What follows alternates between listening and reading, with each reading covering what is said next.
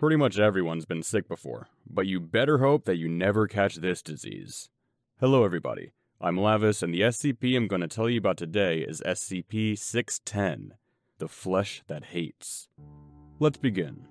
Item number SCP 610. Object Class Keter. Special Containment Procedures. Due to the vast area of infection SCP 610 covers, containment is impossible. Isolation of the area has proved far more effective, and permission has been granted by the Russian government to establish a perimeter to keep people out of these areas under the guise of military operations. Should any organism displaying traits consistent with SCP 610 be sighted near this perimeter, then the established protocol requires it be engaged at range with small arms until immobile, then dispatched using incendiary weapons and munitions from as great a distance as possible. Any living thing coming in physical contact with an organism infected with SCP 610 is considered expendable and is to be immediately terminated and incinerated. Any persons coming within 3 meters of SCP 610 infected life are to immediately withdraw from the area, be isolated from the rest of their team, and subjected to medical examination using only remote techniques to determine if infection has occurred and appropriate steps taken based on that determination. At present, the known infection vectors for SCP-610 spread seem to be focused on physical contact. Drone movements within heavily infected areas have returned air samples containing minute particulate, which when exposed to organic compounds will result in the spread of SCP-610. The results of these particular tests have revealed that most require several days to manifest, if at all, with the exception of direct contact with exposed lung and liver tissue.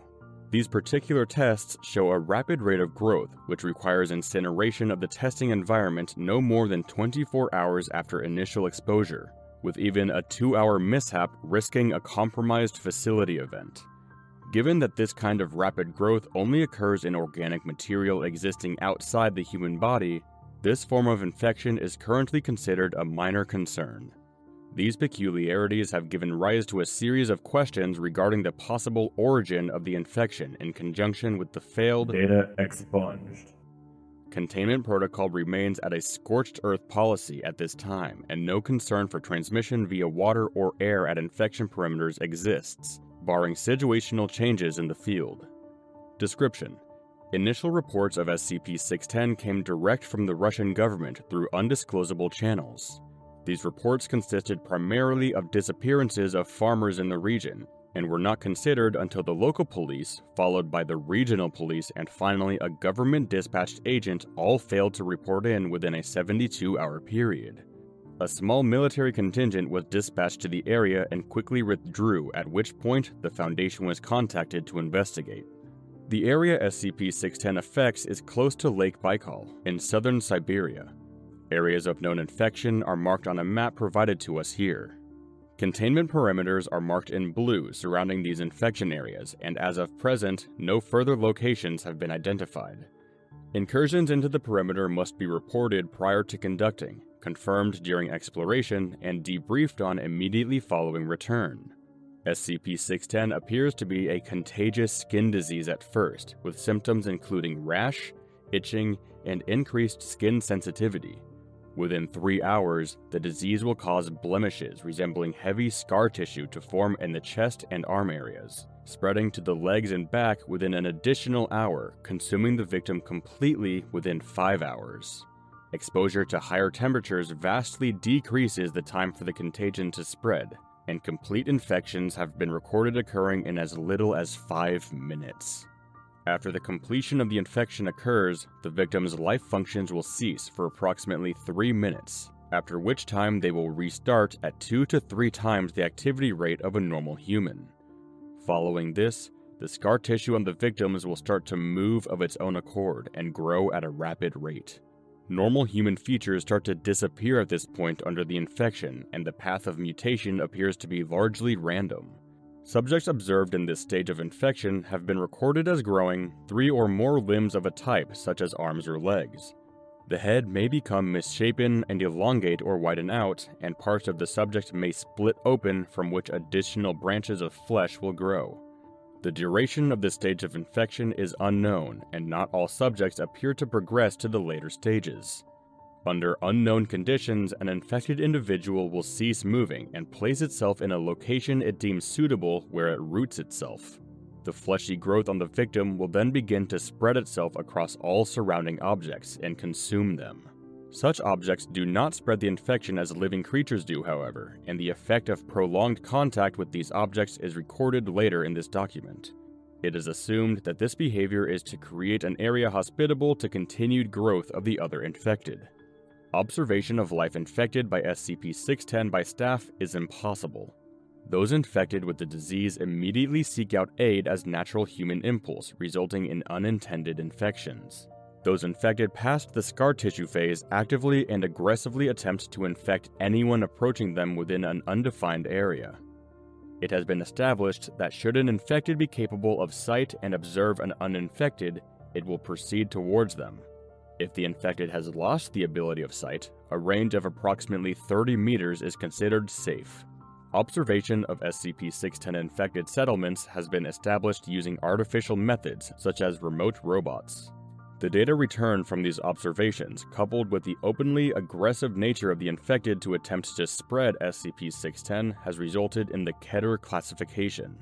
However, so long as nothing is allowed to enter or leave the infected areas, it is considered a neutralized threat. Of concern are the cavernous areas beneath the infected settlements that were discovered during the exploration, and attempts to get research personnel into these areas are underway. Field Logs SCP 610 Log 1 A small remote controlled rover is sent to Site A to locate missing personnel. SCP 610 Log 2 An infected Class D personnel is sent into Site C with video equipment. SCP 610 Log 3 Initial discovery of the tunnel entrance at Site A. SCP 610 Log 4 Unmanned exploration of the Site A tunnels. SCP 610 Log 5 Manned exploration of the Site A tunnels. And SCP 610 Log 6 has been expunged from the record. SCP 610 Log 1 After establishing the containment perimeter for SCP 610, the Russian government approved our request to research and investigate the area. For the first such exploration, a small camera mounted unit known as Herbie was dispatched at a safe distance and directed toward Site A. Herbie has a battery life of 12 hours and a control range far wider than that required for this dispatch. Herbie is able to enter Site A without incident. The landscape around Site A shows early stages of assimilation by singular SCP 610 infected who have fallen at largely random intervals around what remains of the village. Many of the homes appear to have suffered fire damage long since put out. However, a fair amount remain intact. Aerial reconnaissance of Site A combined with thermal imaging has put it at an estimated population of 79 infected. Immobile infected are included in this number. However, it is difficult to ascertain the exact percentage of mobile versus immobile. Varying degrees of physical mutation due to SCP-610 are present in Site A, and it is assumed that all the inhabitants are in advanced stages of infection. Herbie observed the exterior of the village for two hours, during which time all infected behaved with what appeared to be a loose sense of social structure. Because Herbie remained stationary during this observation period, it is unknown precisely what each individual infected person was doing. However, the Central Plaza experienced occasional bursts of activity and downtime. Requiring more information, Herbie was directed to follow an infected as it entered a home. There is a bumpy camera feed as Herbie scoots over the gravel behind the quickly shambling infected person. An image taken of the interior of this home has been attached to this file. The infected being tailed is the one sitting at the table. After entering the home, Herbie's camera was raised slowly as to not draw attention. This action was either unnoticed or ignored. The infected person is watched from the doorway as it hobbles around the home and stops at each of the other visible infected organisms. However, it appears to ignore the one under the table, which, while not immobile, does not leave that area. What this creature was before infection is unclear, after lapping the table and repeating this procedure three times, the primary infected person, known as Alpha henceforward, stops at the bedridden infected, known as Beta, and proceeds to assault it with furious punches. Beta is unable to leave the bed for unknown reasons, but is not completely immobile as it flails its arms in response to the beatings delivered by Alpha. After several sustained minutes of this beating, a piercing sound explodes from the area around Beta, who then proceeds to project a cloud of unknown matter into the air from its chest cavity. Alpha lingers in the cloud as it floats in the air around them, slowly descending to the ground. The unknown life form on the table aside Beta begins to twitch in an apparent seizure, and Alpha then laps the room twice more, stopping again at each infected organism but still ignoring the one under the table, as well as Beta now. After these two laps, Alpha seats itself at the table and reaches out to position the three plates atop it, as if setting a dinner set. After the plates are positioned, the facial tendrils extending from Alpha wiggle up and start to coil on one of the plates, before tearing apart and separating. This is repeated at each plate. The image attached to SCP-610's primary file is a still image of this occurrence. After each plate is filled with Alpha's flesh, it leaves the table and approaches Herbie, which is moved from Alpha's path. Alpha leaves the home, but Herbie's camera remains focused on the table. After several minutes, a group comprised of six to seven infected enter the room from outside, still ignoring Herbie. Each infected shambles as if movement is difficult, jerking in large steps or squirming in small ones. These infected all surround the table and each takes turns grabbing handfuls of the flesh substance left behind by Alpha, pressing it into whatever orifice on themselves that they can. Some into mouths, some into the chest, some behind their backs, some under their arms. When all the plates are empty, this group leaves, Herbie remains here for several more minutes before retracting its camera and leaving.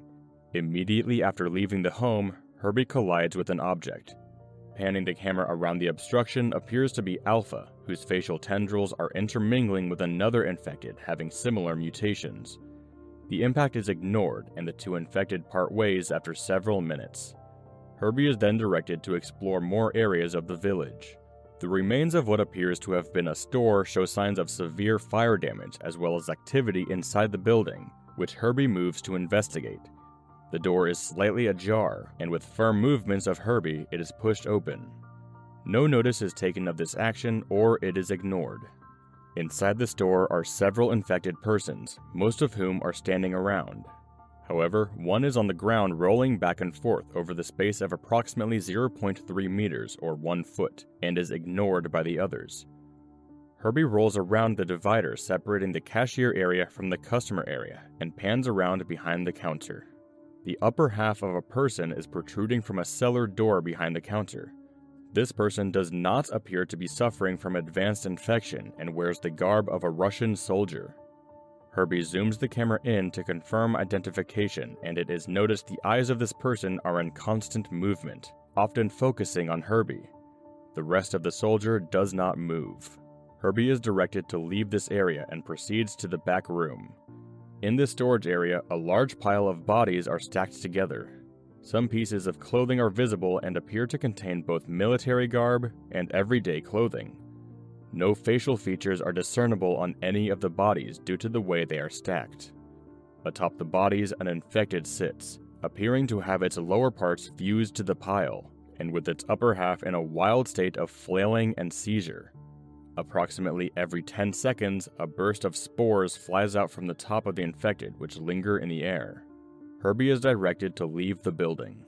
After leaving this building, Herbie passes by the village well, surrounding which are a series of immobile infected, all facing the well.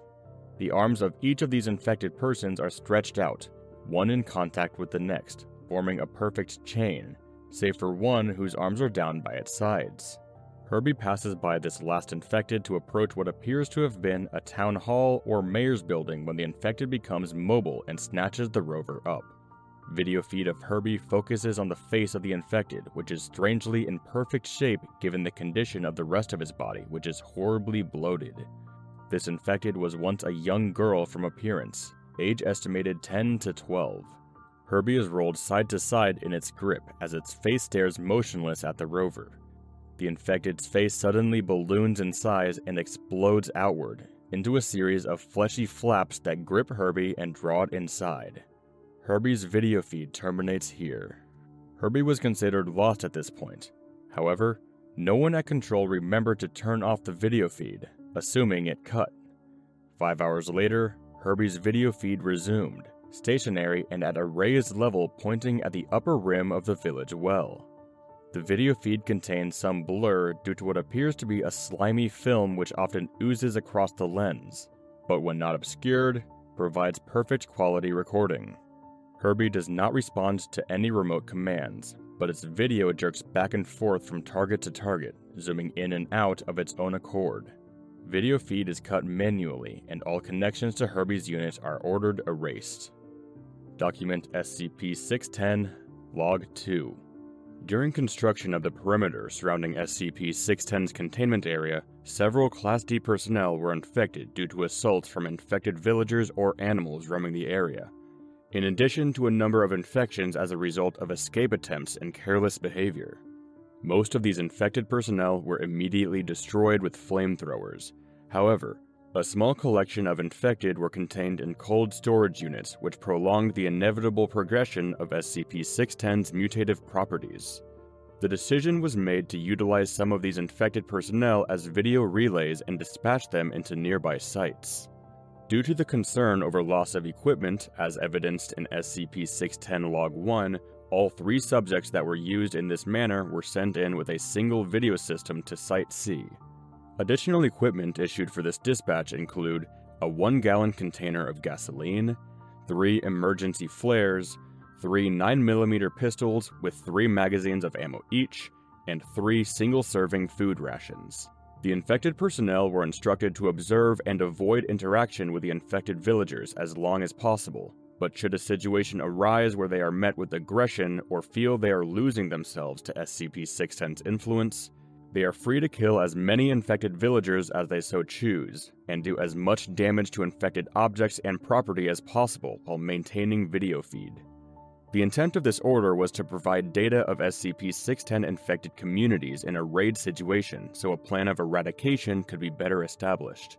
At the time of this expedition, Site C was suspected to be a possible origin point for SCP-610, having far fewer mobile infected than other sites, as well as structures which appear to have been layered over several times with the terraforming effects of the immobile infected. Dispatched Class D personnel, known henceforth as DI-1, DI-2, and DI-3 were directed to pay particular attention to anything that could be considered an origin point for SCP-610. The trek from our perimeter camp to Site C was uneventful. There is no evidence of any native animal life in the area. As Site C is approached, there is a noticeable rise in the temperature within the last 30 meters of the trip that necessitates removal of the heavy cold-based coverings that were provided. The temperature rises again sharply at the entrance to Site C proper, which requires a further shedding of garments for fear of heat stroke. Site C is described as being heavily humid and around 32 degrees Celsius or 89 degrees Fahrenheit. One of the first immediately noticed traits about Site C is an array of immobile pylons which encircle what is believed to be the entirety of the site. Separated by an apparent distance of 5 to 6 meters, each pylon appears to be 2 to 4 infected persons fused together in one spot. On some of these pylons, features such as faces or anuses are still visible in addition to several other holes which do not naturally occur, all appearing to act as heat vents. Where the heat is generated is unknown. Current belief is that this is an advanced stage of SCP-610 terraforming its environment to facilitate spread of itself. DI-2, who was furthest along in progression of SCP-610 of the three by a number of hours, begins to seizure after only a few minutes in Site C during examination of the pylons. The progression to the scar tissue phase of SCP-610 infection is observed in full course as DI-2 spasms on the ground, his entire body being overtaken by the sickly tan flesh almost entirely after 45 seconds. DI-2 is terminated by a gunshot from DI-1, and his equipment left where it is. The spread of SCP-610 over DI-2 continues even after death of the body until all movement ceases. As Perimeter Control is relaying new instructions to DI-1 and DI-3 regarding this situation, there is a shift in the ground covering in Site C where DI-2's body is. Video feed shows the flesh-like growth splitting open beneath his body and a series of ropey tendrils coming from within the gap to pull his corpse inside. This opening closes up quickly. Total time elapsed 3 seconds. As DI-1 and DI-3 decide to act quickly in these hotter temperatures, fearing the same fate, they proceed to the village center and encounter another previously unknown phenomenon. In the precise center of town, rising above what was the community well, is a sphere suspended by angled supports comprised of SCP-610 flesh. This ball is riddled with the features of humans in early stages of SCP-610 infection, as well as a good number assumed to be in later stages.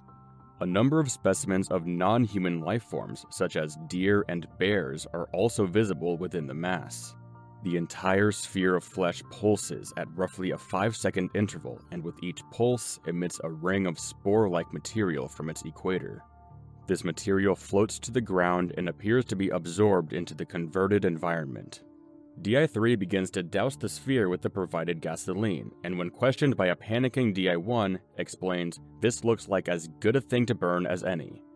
At this point, perimeter control has ceased giving commands due to the rapid deterioration of events. There is no reaction from anything within Site C to any of this activity until the precise moment at which a lit emergency flare is applied to the spherical mass, which immediately goes up in flames. The remote feed plays back a noise from an unknown location that seems to come from a location far outside of Site C, but was reported as being heard even at perimeter control by both Site C and A.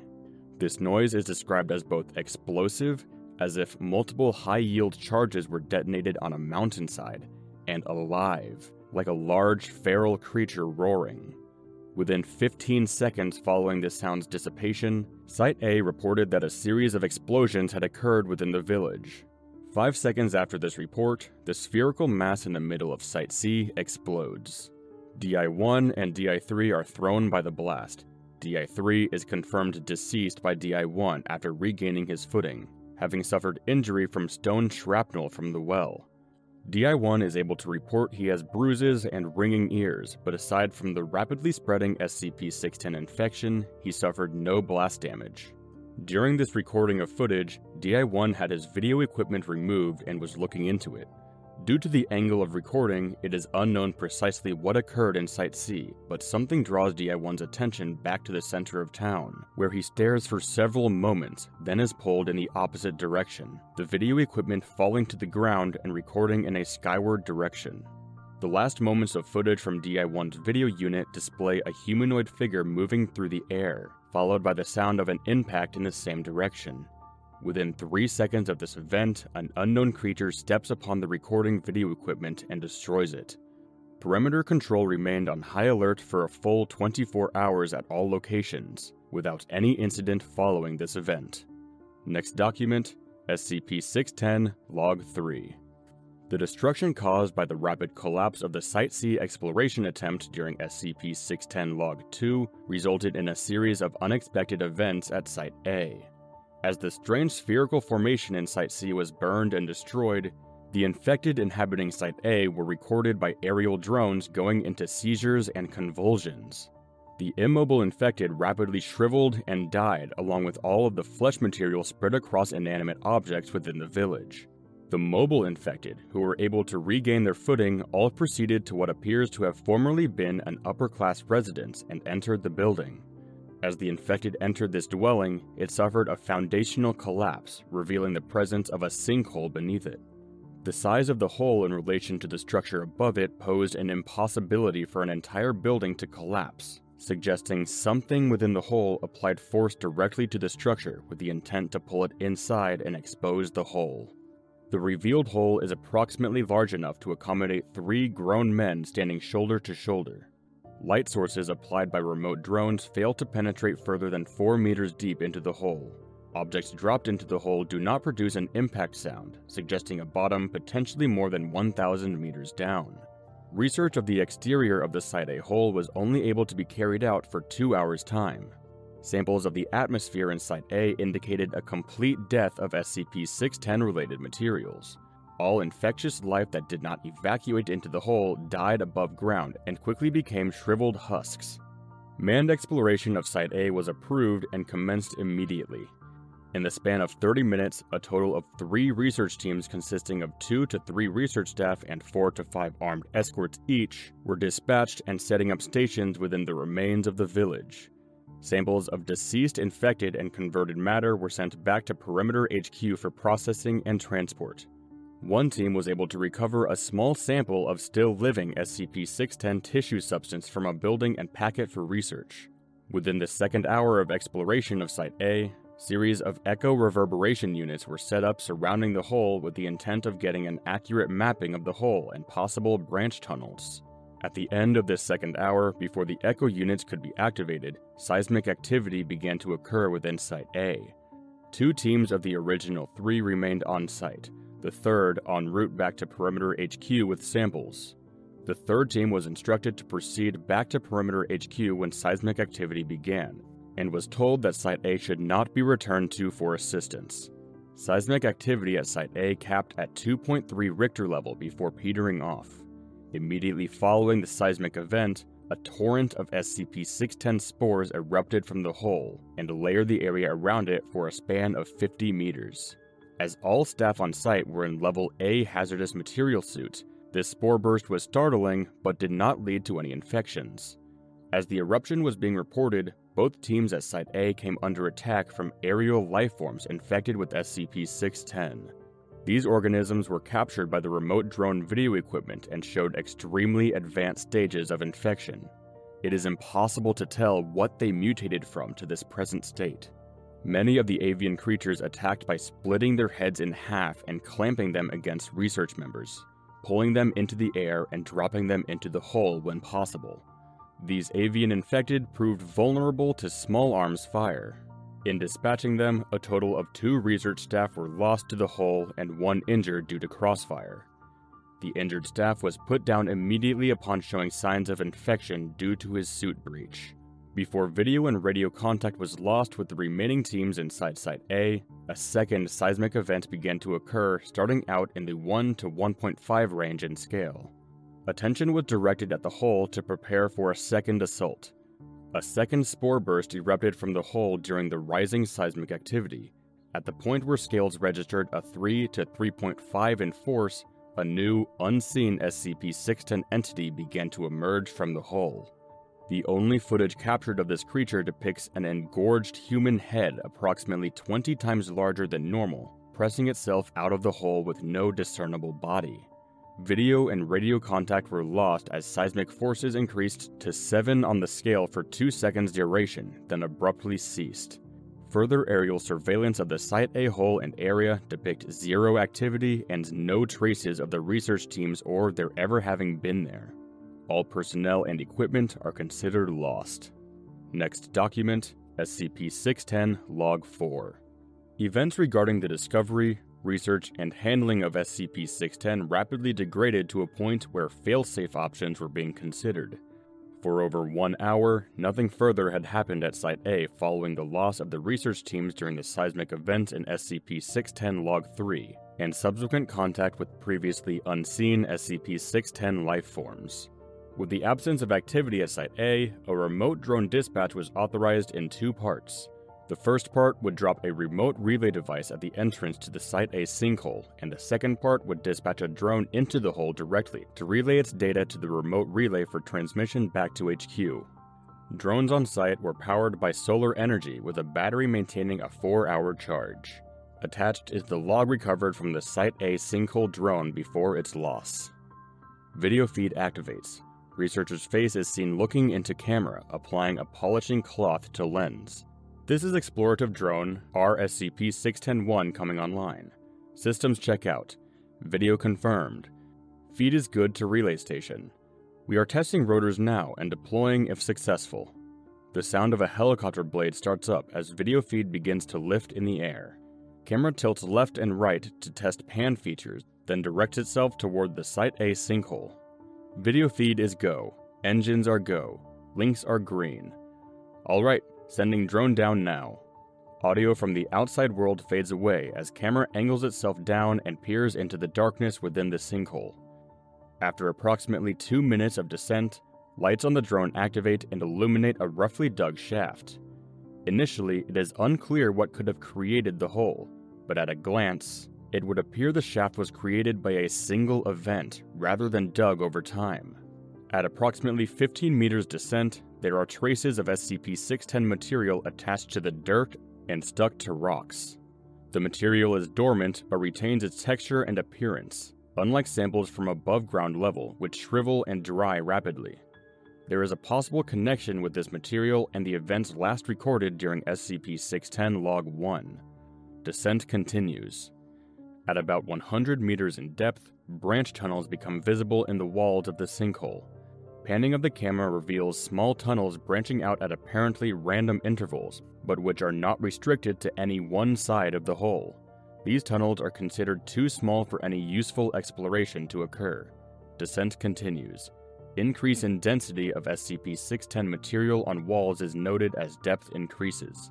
At about 250 meters, the bottom of the sinkhole becomes visible and the tunnel slopes sharply, suggesting unnatural formation, which was already suspected.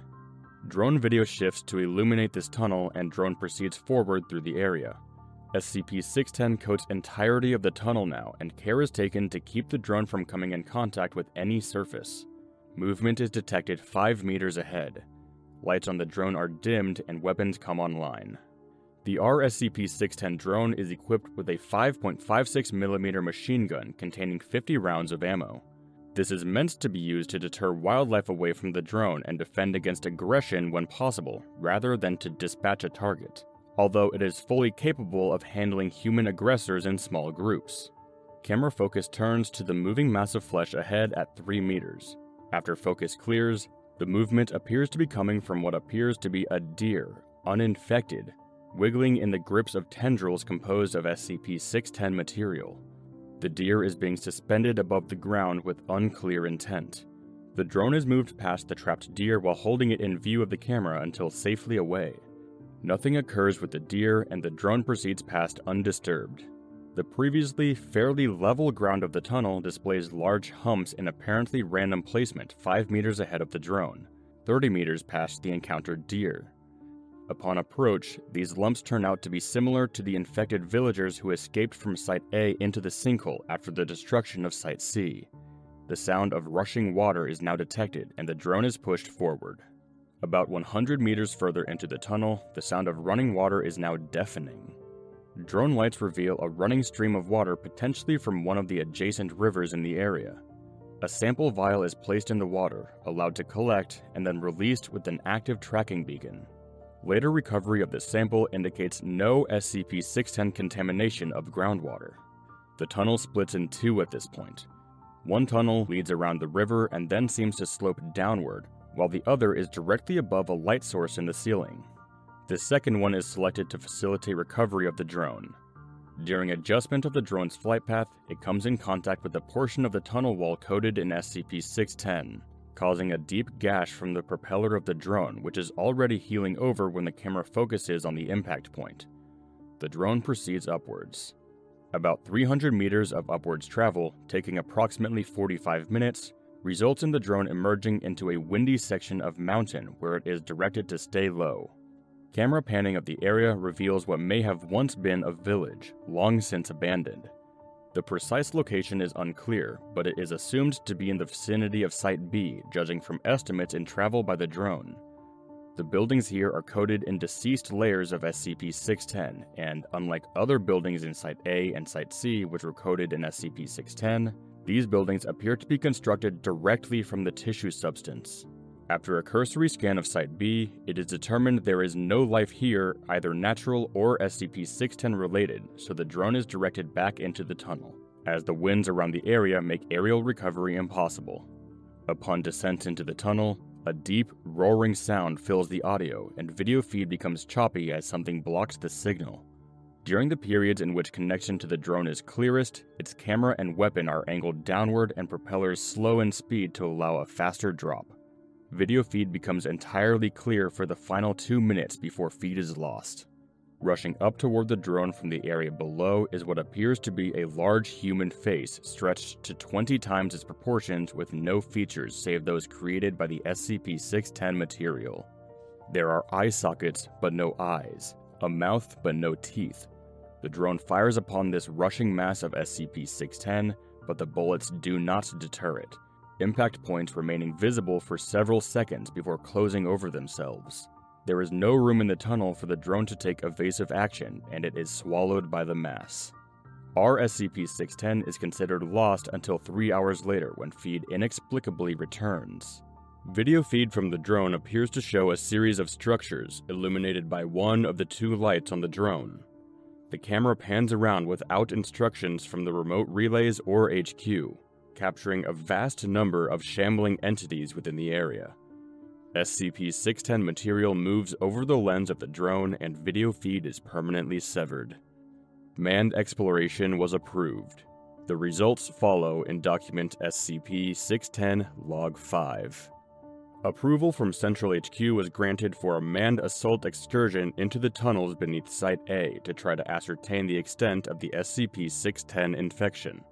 The destruction of Site A and Site C have established SCP-610 can be contained and destroyed, making the source of the infection top priority.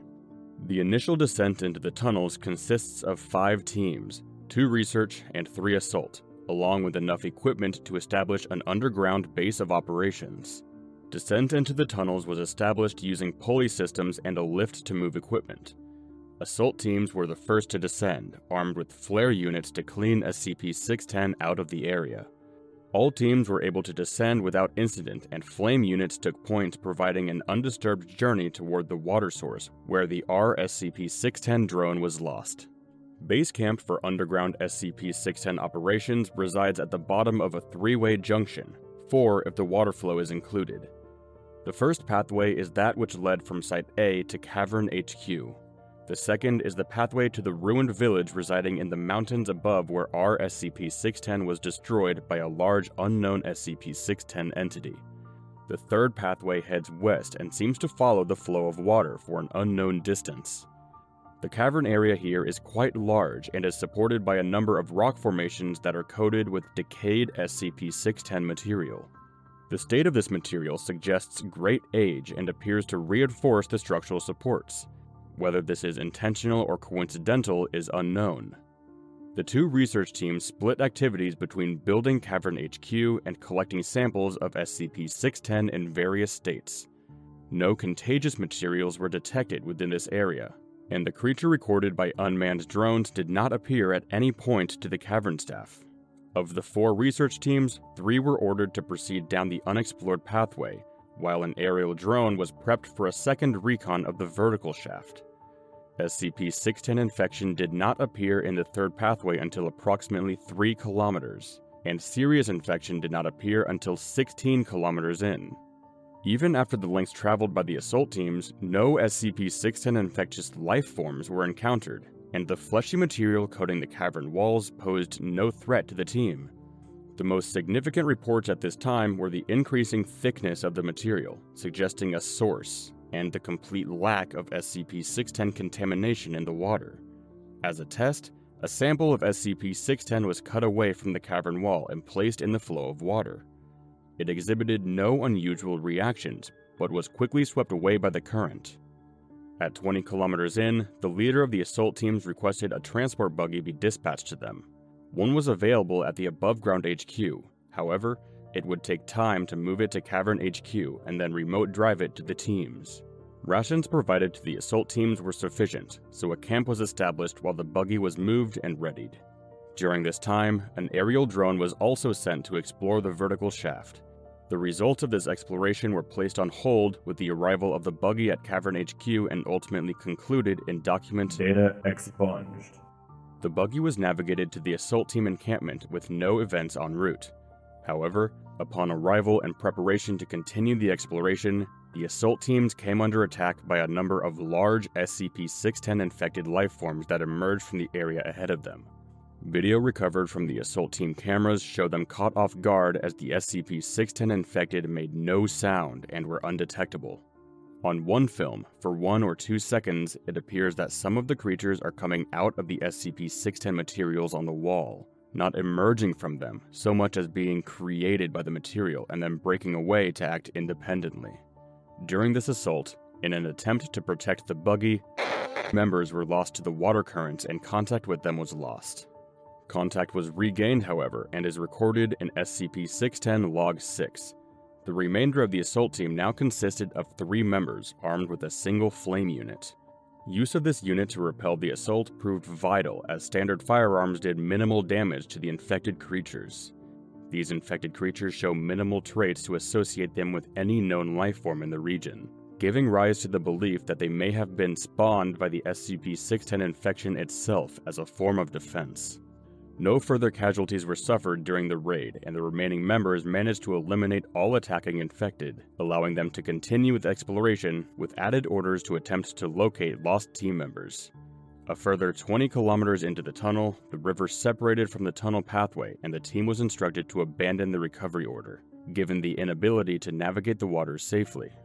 A total time of passed before the remaining assault team reached the end of the tunnel, at the perimeter of the area now known as Site B, the team came under assault again from a smaller number of SCP-610 that were much larger in size. These infected appeared in the tunnel as if they were lying in wait for the approaching team. These creatures were dispatched using the flame unit, although all fuel for the unit was expended in this act. The assault team was now limited to standard weapons and short-range personal flame units. A time lapse of 5 minutes is allowed to pass before the team proceeds farther into Site B, cautious of further assault by SCP-610 infected. The tunnel widens out into what appears to have once been a village of indeterminate age. The construction of the buildings in this area are primitive compared to the settlements at Site A and Site C, and are of clearly human construction. Many buildings rest at angles or slants, suggesting they were disturbed by a cave-in. Of interest is a building that appears to be a church with a working clock tower. This building is built atop the remains of two older buildings that have fallen completely, and has a visibly stable foundation. Surrounding all structures in this area is a depression in the ground filled with a substance resembling a liquefied form of SCP-610 fleshy materials. The pool moves as if acted upon by a minute and unseen force, rippling outward from invisible contact point and rolling in waves from unfelt winds. The team avoids this pool at all times and proceeds through the ruins slowly on stable foundations where possible, making the church their target area. Within the church are pews, as would be expected. However, there are only four, one of them shattered, when the building could accommodate as many as 20. The three intact pews are arranged in a 2 1 formation facing a pulpit. There is no trace of dust on any surface, the entire area appearing to be immaculately clean, given the location and believed age. Beneath the pulpit is a hole in the floor, exposing an area of the SCP-610 pool beneath the building. The church and ruins appear to be uninhabited, and exploration of the church proper is uneventful until the clock tower bell tolls. This tolling triggers a shudder in the building, followed by human screams from the ceiling. Lights shown up at the ceiling reveal a large mass of SCP-610, from which descends a series of six wooden circles. Strapped to each circle is a living human coated entirely from neck to toe in SCP-610, but having an exposed head which appears uninfected. These human captives scream as the bell continues to toll and the circles move to the ground. The team begins to move towards one to investigate, when an unknown creature cries from outside the building, prompting them to take cover in the shadows near the pulpit. Light sources are extinguished, pitching the entire area into darkness. Night vision is left off to avoid revealing the team's location.